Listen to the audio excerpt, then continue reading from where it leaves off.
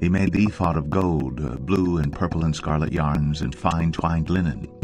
And they hammered out gold leaf, and he cut it into threads to work into the blue and purple and the scarlet yarns, and into the fine twined linen in skilled design.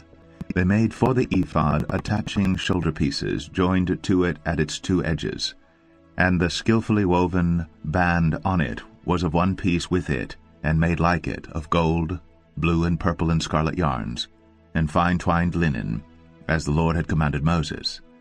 They made the onyx stones, enclosed in settings of gold of filigree, and engraved like the engravings of a signet, according to the names of the sons of Israel.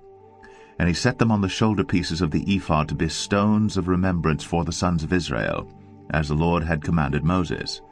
He made the breastpiece in skilled work, in the style of the ephod of gold, blue, and purple, and scarlet yarns, and fine twined linen. It was square. They made the breastpiece doubled, a span its length, and a span its breadth when doubled. And they set in it four rows of stones.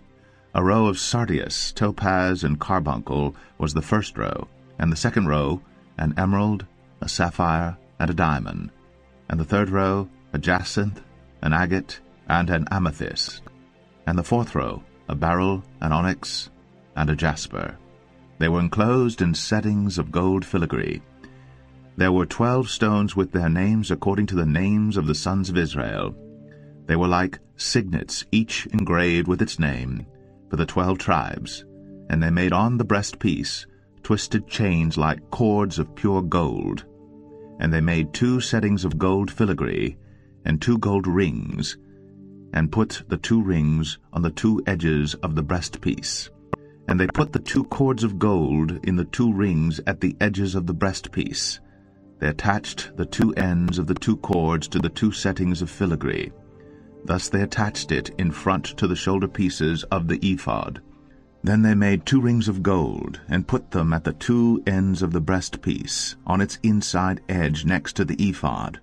And they made two rings of gold, and attached them in front to the lower part of the two shoulder pieces of the ephod, at its seam above the skilfully woven band of the ephod.